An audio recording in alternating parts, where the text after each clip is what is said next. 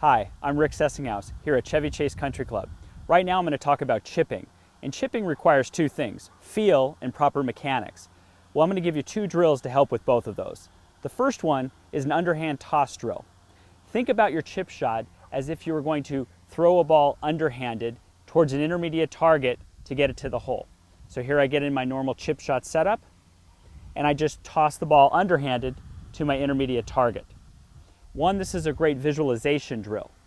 Now two, I actually want to use that same technique with my motion, as if I'm throwing it underhanded. Now this next one's a little bit more of an advanced drill. I'm actually going to chip this with just my right hand.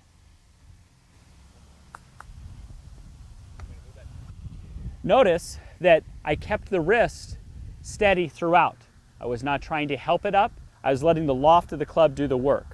So when you combine these two drills, underhand tossed to feel the shot, and then now do it with just the one hand, you're gonna have both great feel and great mechanics.